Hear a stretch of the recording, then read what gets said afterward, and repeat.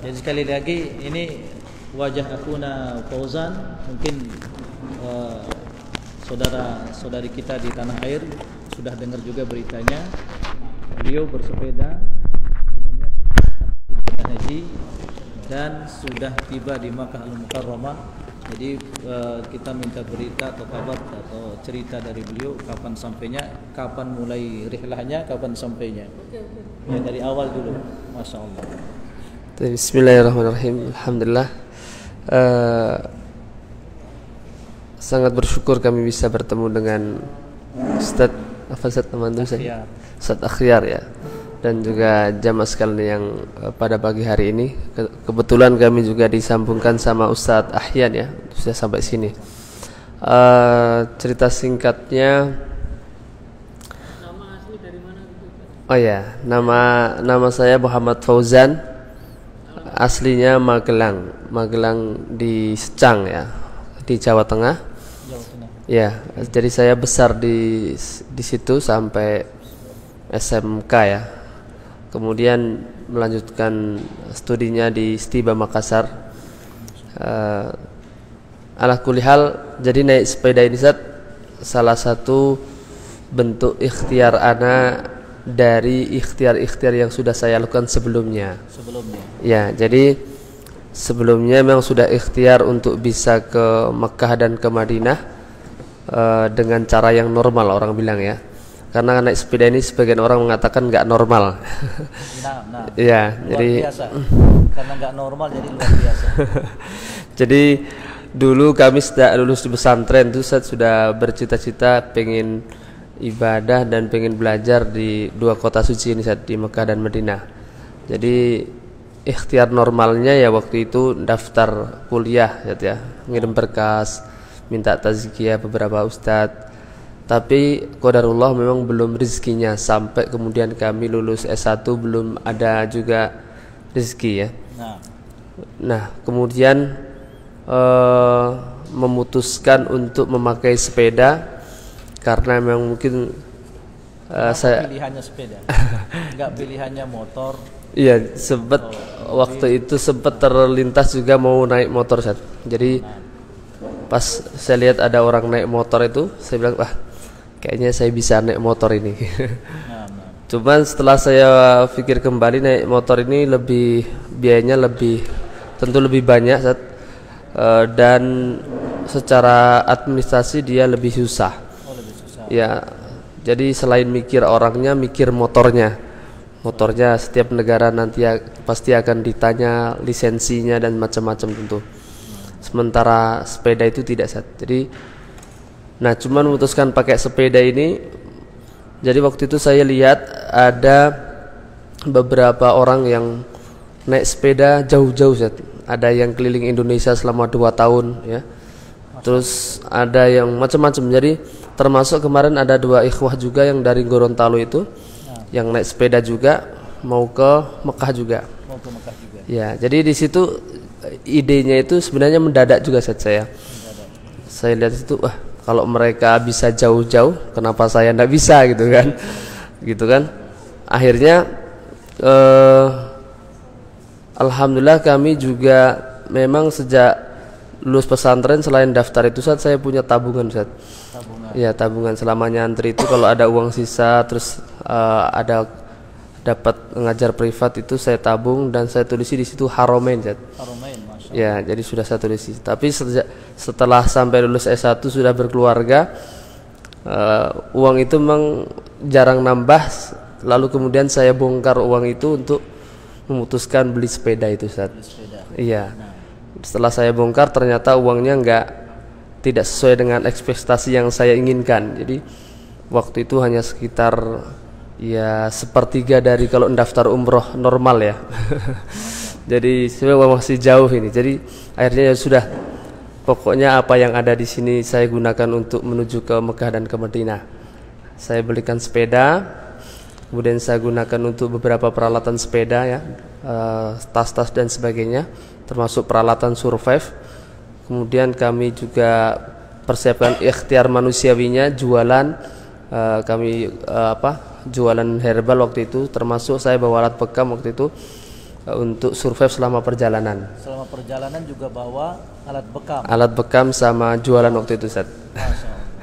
Jadi waktu itu akhirnya dengan modal semangat itu saya beli sepeda dan saya termasuk yang awam sepeda jadi saya latihan. Oh, belum juga bisa bersepeda. Belum. Jadi ya kita bisa naik sepeda seperti kita yang dulu orang ke, di masa kecil pernah naik sepeda tapi kalau hari-hari nggak pernah naik sepeda. Nah, Jadi bukan goeser ya, bukan goeser. Artinya sepeda biasa orang kampung nggak gitu, bukan orang yang sudah biasa misalnya jalan-jalan. enggak, enggak pernah Sat. Jadi makanya orang bilang nekat karena memang nggak pernah naik sepeda saya. Cuman jadi beli sepeda baru di situ latihan. Bahkan latihan pertama saya tidak pakai sepeda saya. Ada sa- salah satu jamaah di masjid itu saya pinjem sepedanya selama satu pekan buat latihan. Sudah yakin baru saya beli sepeda. Dan sepedanya memang alhamdulillah ya eh, sepeda second ya karena kalau sepeda yang baru kan lumayan Nah, mahal ini juga. sepeda second antum bawa ini. Iya, sepeda second. Allah. Sepeda tahun 95-an. 95 Iya, sepeda federal. federal. Iya. Tapi memang dia layak touring set untuk Layak ya.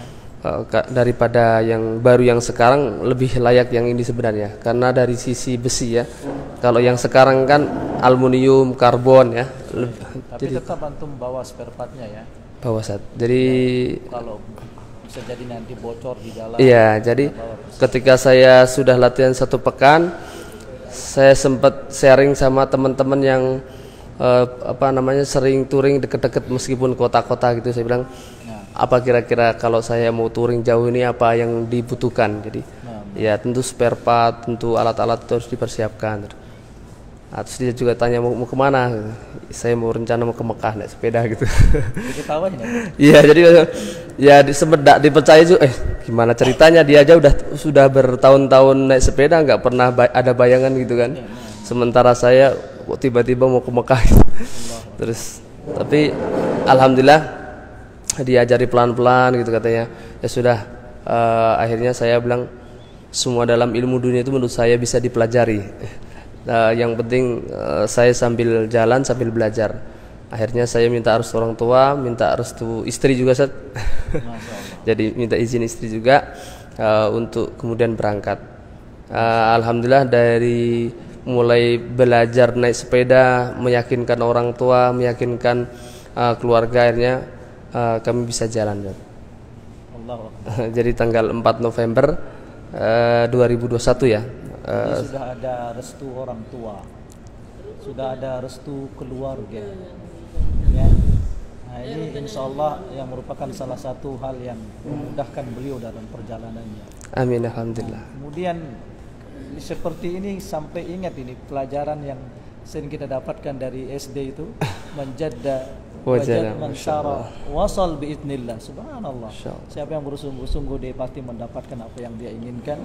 Ketika dia sudah berjalan untuk me- mencapai apa yang dia inginkan wasal biidnillah dia dapatkan dengan izin Allah subhanahu wa taala. Nah lanjut. Iya. Ah? ya, Iya. rute dari, Indo- dari Indonesia rutenya gimana nih ceritanya Iya, jadi rute yang kami lalui sebenarnya rute yang sudah eh, pernah dilalui oleh orang yang pernah ke Mekah naik motor ya. naik motor Ya, ada yang pernah naik motor itu. Jadi itu antum hafalkan dulu rutenya ya, Iya, jadi pelajari dan ditanyakan. tapi kan eh, itu rute itu kan gambarannya gambaran besarnya, Seth. Gambaran kecilnya kita harus survive juga di lapangan dan tanya-tanya juga. Jadi kayak apa negara apa yang mau dilewati dari sini ke di sini ke sini. Tapi nanti tentu negara itu kan besar. Nanti negara ini maksudnya lewat mana, bordernya lewat mana. Nah itu yang eh, kita harus survive lagi ketika sampai eh, di apa di tempat itu. Jadi eh, negara-negara contohnya kita eh, negara yang sudah kita plot awal itu dari mulai eh, Singapura, Malaysia, Thailand, Myanmar, India, Pakistan, Iran masuk ke Abu Dhabi nyebrang lewat laut baru nanti ke eh, mana Eh, ke Riyadh ya ke Saudi ya dari mulai Abu Dhabi nanti ke Saudi ya Ustaz. Nah tapi eh, karena kami waktu itu berangkat di nah ini eh, lebih lebih lagi kemustahilan itu kata orang selain saya awam juga saya berangkat di masa pandemi Zat. Iya sahih. jadi Masa pandemi. masa pandemi waktu itu jadi para peturing ketika saya berangkat cibirannya orang baru kemarin mau mau nyari gaya-gaya ini gitu kan tapi setelah kedua sampai di Batam eh, waktu itu kami mentok di aturan negara jadi nggak bisa masuk di Singapura waktu itu kami eh, waktu itu terkatung-katung sekitar tiga bulan Di mana nih? di eh, di Batam Masih di Batam tiga bulan. tiga bulan. Jadi tidak bisa masuk negara itu karena memang eh, Indonesia itu kan termasuk yang susah keluar negara. Eh, orang Malaysia, orang Singapura sudah bisa ke Indonesia waktu itu tanggal-tanggal itu, tapi orang Indonesia nggak bisa keluar. Aturannya ketat waktu itu. Jadi sempat di Batam itu eh, akhirnya saya sampai di kan dari mulai Magelang ya sampai Jakarta, Jakarta ke Banten, Banten nyebrang ke Lampung, Lampung menyusuri Sumatera sampai ujung di Jambi, Kuala Tungkal namanya. Kuala Tungkal nyebrang ke Batam. Nah, jadi sampai Batam itu nanti saya nah, di situ harusnya sudah bisa masuk Singapura, ternyata tidak bisa itu, Zat Mentok di Batam. mentop di Batang eh, di Batam itu di situ eh, saya sempat berpikir kayak gimana ini kan mau pulang tidak mungkin kan nah tidak mungkin saya mau pulang eh, karena sudah diizinkan orang tua sudah ini. Jadi saya pokoknya mau tidak mau harus sampai gitu dengan sepeda saya. Eh, bahkan sempat ada tawaran bilang gimana nanti kita waktu itu pas awal-awal berangkat sudah kalau mau umroh saya umrohkan gitu kan. Nanti ngajar di pesantren saya tapi gitu. Ah, tapi karena saya sudah men- apa eh, saya sudah bertekad sudah berizin sudah berangkat dengan sepeda bilang ya enggak bisa. Saya- kalau mau diumrohkan juga harus pakai sepeda saya gitu perjalanan antum sampai di Batam ini sendiri apa ada, apa- ada teman lain? sendiri set Masih sendiri. sendiri Allah. jadi saya dari Magelang start sendiri sampai nanti di eh, Malaysia Set. Sampai di Malaysia. mau masuk Malaysia baru jumpa sama dua kawan yang dari Gorontalo itu Ketemunya di Malaysia. pas mau masuk Malaysia di Setelah antum tiga, tiga bulan di Batam. iya Gimana antum hidup? Ya di Batam jadi ketika saya sampai di Batam Januari akhir tuh ya tanggal 21 karena belum ada berita gimana bisa masuknya akhirnya waktu itu saya keliling-keliling ke pulau-pulau sebelahnya dengan survive itu sambil mengumpulkan dana lagi. Gimana ngumpulkannya? Eh, dengan bekam dengan jualan herbal itu eh, jadi saya keliling-keliling dan eh, ya artinya ke tempat sekaligus destinasi yang pengen saya kunjungi juga gitu. Oh gitu. kadang di kampung-kampung gitu ya eh, di ujung-ujung. Jadi sambil saya naik sepeda keliling-keliling eh, itu sambil saya survive itu. Jadi ya alhamdulillah dari eh, Magelang sampai Batam sehingga ada bekal untuk bisa masuk ke luar negerinya itu. Itu jadi Dia alhamdulillah bisa nyebrang ke Malaysia. ya akhirnya setelah menunggu sambil ngulur ngulur waktu eh, akhirnya tiba waktu itu awalnya pengumumannya Saudi dulu. Saudi itu kan waktu itu tiba-tiba mengumumkan bahwa Saudi bisa umroh tanpa harus karantina ya. Itu muncul sebelum April itu eh, di bulan Maret ya. Di bulan Maret sudah muncul pengumuman itu tanggal-tanggal 20 kalau tidak salah itu. Nah. Di situ saya khusnudan ini kalau sudah Makkah buka kayaknya nanti yang lain akan buka juga gitu jadi di situ saya sambil berdoa lagi ternyata betul eh, satu pekan setelah itu Malaysia buka Malaysia buka. ya terus kemudian Singapura juga buka tanpa karantina cuman butuh eh, beberapa surat-surat itu akhirnya eh, saya segala persiapan masuk ke Singapura Nah, antum untuk mendapatkan surat-suratnya dapat dari mana?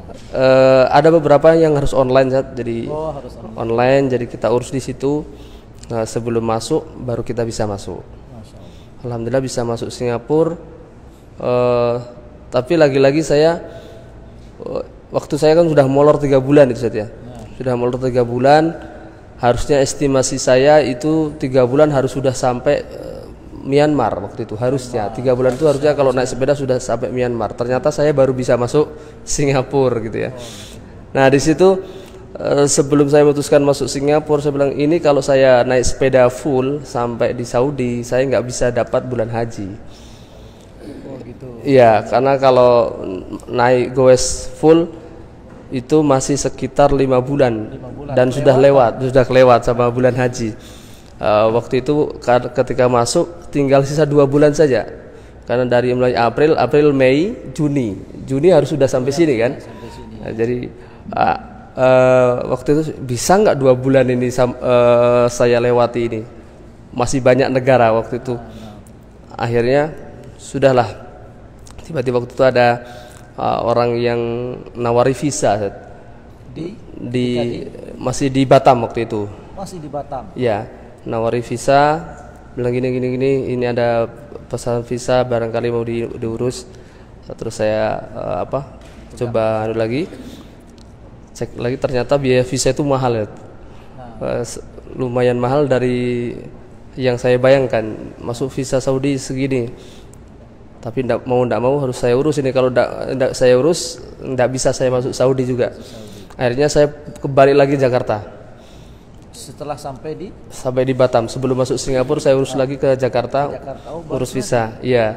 Akhirnya setelah saya dapat dua pekan saya baru bisa masuk Singapura nah, sampai kemudian di ujung eh, Singapura itu baru ketemu sama yang Gorontalo dua orang itu ketemu di Malaysia. ya akhirnya kita jalan bareng sampai di Thailand Jadi bertiga tuh bertiga sampai di Thailand. sampai di Thailand. Jadi waktu itu Lebaran kita di Malaysia, Nah, sampai di Thailand itu di situ saya sudah bulan Mei ya, Nah, nah, ya sudah bulan Mei. Jadi saya waduh gimana ini bisa nyampe mau bisa nyampe nggak itu kan? Nah terus visa saya juga harus segera dipakai yang Saudi itu ke Saudi. karena dia maksimal tiga bulan dari terbitnya. Oh. Kalau kalau lewat dari itu kan hangus ya. Jadi antum memasuki negara-negara itu tetap menunjukkan visa tadi itu ya. Iya, jadi selain visa Saudi, saya harus ngurus juga visa yang mau masuk, setelah itu. Nah, pas sampai di Thailand, saya masih target untuk dua negara lagi, yaitu Myanmar sama India. Eh, tapi ternyata di ketika kita sudah cek di ujung eh, mau masuk Myanmar, nggak bisa, Seth. Eh, di sana masih konflik kan? Sahih. antara ini kan? Antara sipil sama ininya kan? Tentaranya kan? Termasuk di India ndak bisa juga. Visa ndak bisa muncul-muncul sudah nunggu di Bangkok lama gitu kan? Ngurus Eh, akhirnya sudah bulan Mei nih sebentar lagi Juni. Akhirnya saya di situ flight naik pesawat, Pesawat. langsung ke Riyadh Dari Eh, dari Bangkok dari Bangkok. ya dari Bangkok langsung ke Riyadh Seth. Jadi eh, dari sana antum naik pesawat. naik naik pesawat Mana tadi dari Bangkok ya dari Bangkok ke Riyadh. ke Riyadh ya.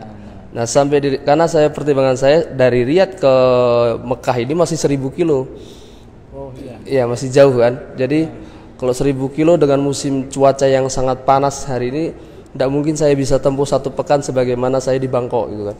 Berarti saya harus siapkan waktu sekitar 20 hari. 20 hari. Ya 20 hari. Berarti kalau saya datang di akhir Mei, berarti nanti saya Mekah paling di pertengahan Juni dan itu sudah mepet sekali itu kan. Sorry. Akhirnya alhamdulillah Allah kasih rezeki bisa booking tiket untuk sampai ke Riyadh. Pesawat juga. Ya pesawat juga. Jadi padahal waktu itu saya tidak pernah terfikirkan saya bisa punya dana segitu. Dan karena eh, dana saya sudah habis dibuat visa waktu di awal itu. Jadi waktu itu saya masuk Singapura tuh dana sudah kosong. Aduh gimana ini? Ah udah jalan. Mau masuk Singapura itu setelah buat visa, kosong. dana sudah kosong. Tinggal mungkin berapa ratus ribu gitu. Nah, Tapi waktu itu saya ya udah yang penting masih saya bisa jalan jalan aja. Akhirnya selama dari Singapura sampai Thailand uh, dari survive itu alhamdulillah ada rezeki bisa untuk booking tiket Ustaz. Masya Allah. Kemudian sampai di Riyadh baru saya lanjut lagi. Ya, Kemudian disambungkan sama KBRI dan sebagainya karena setiap negara pasti mampir di KBRI. KBRI. Ya pasti mampir KBRI. Ya, artinya kita tanya situasi negara, kita tanya eh, apa beberapa kondisi dan sebagainya, termasuk supaya kita bisa dimudahkan perjalanan kita. Ya, alhamdulillah sampai di Riyadh bulan Ju- bulan Mei akhir, kemudian kita lanjut lagi sampai akhirnya sampai Jeddah itu tanggal 9 Juni. 9 Eh 8 ya, tanggal 8. Dari dari Riyadh ke Jeddah pesawat ya. Kalau dari Riyadh ke mana? Ke Jeddah kita naik sepeda, sebagian juga naik bis. Oh, jadi nggak naik pesawat. Enggak, yang naik Bis, pesawatnya cuma dari bis. ya sepeda dan bis.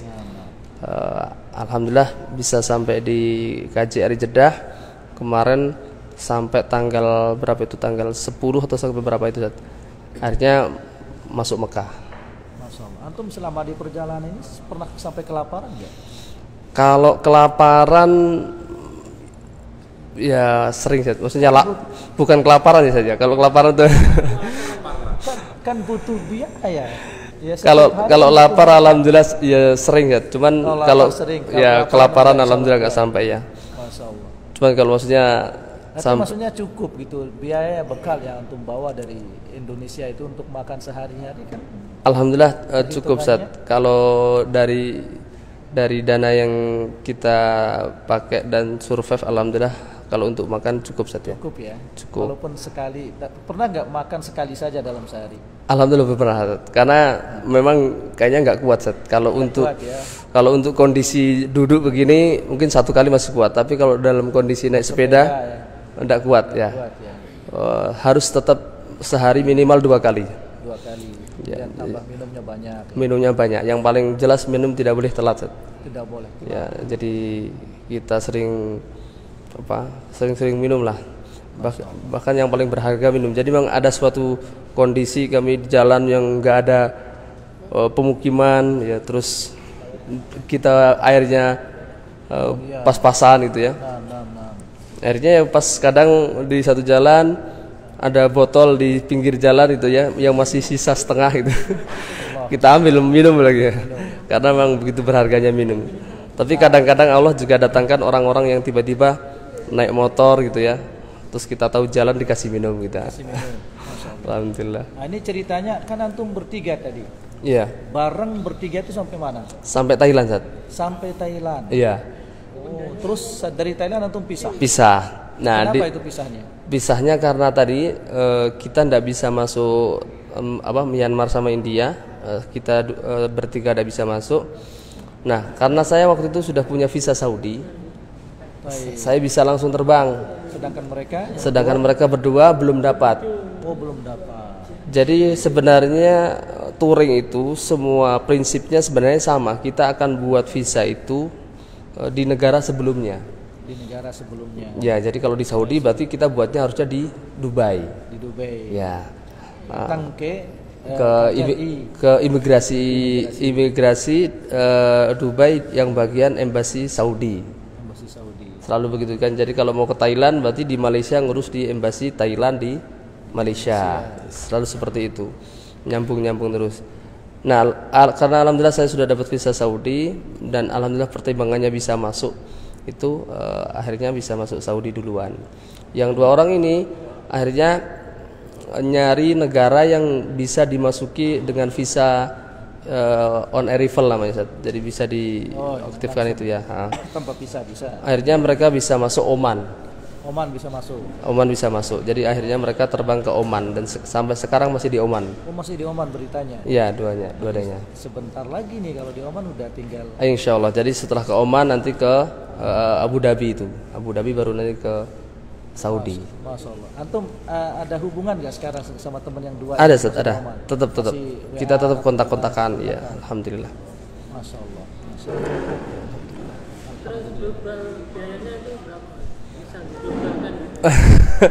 Saya tidak pernah menghitung kalkulasi ya. Jelas eh, kalau gambarannya yang jelas lebih mahal daripada umroh biasa.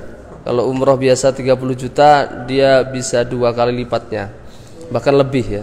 Kalau di ya kalau di total. Jadi perbedaannya hanya kalau kita itu eh, dananya nggak kelihatan. Jadi nggak- nggak kelihatan. Cuman kalau mau cuman kalau di total lebih banyak. Ya, jadi bedanya itu aja. Iya, jadi bedanya itu aja. Jadi kalau saya suruh umrah waktu itu langsung hari itu, saya tidak ada dana. Tapi kalau saya disuruh jalan, punya uang 5 juta sampai di mana, kemudian tambah lagi, tambah lagi, saya Ya, bisa. jadi beliau ini dananya ini bukan sudah ada sekian lipat itu begitu berangkat. Jadi antum mendapatkannya di jalan-jalan Di jalan-jalan juga. Nah, Sambil nyari dana. jualan, sambil. Allahu Akbar. Iya, tidak bisa ditarget juga. Jadi Jadi Jadi sebelumnya antum nggak target sekian biaya yang saya butuhkan. Enggak, Sat.